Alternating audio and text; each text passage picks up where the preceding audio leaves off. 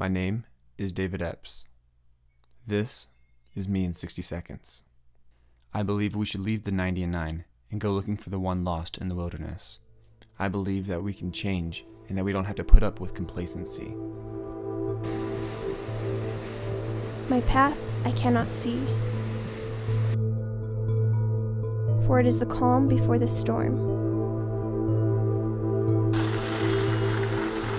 The tension it builds inside. Confusion and darkness, always near.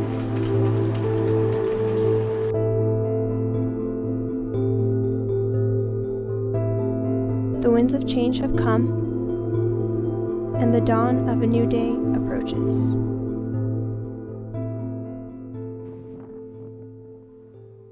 I believe in rebirth.